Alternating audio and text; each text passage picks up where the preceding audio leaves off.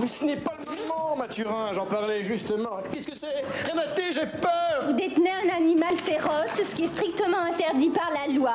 Allez, Louis, faites votre devoir. Allez, réagis Charogne Renaté, au secours Fais quelque chose, pas Ah, Je ne peux rien faire, Greg, car il a raison, vois-tu. C'est une bête féroce et je suis responsable de ce qui arrive. Tu veux qu'on en parle, Bob? C'est formidable Votre calme, votre force, vous permettez Allez